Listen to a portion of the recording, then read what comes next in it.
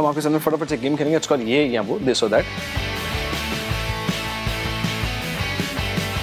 Action films और romantic sagas Romantic sagas. Cat lover dog lover Dog lover. Social media और books Books. You believe in organizing your life और flowing with the flow Flowing with the flow.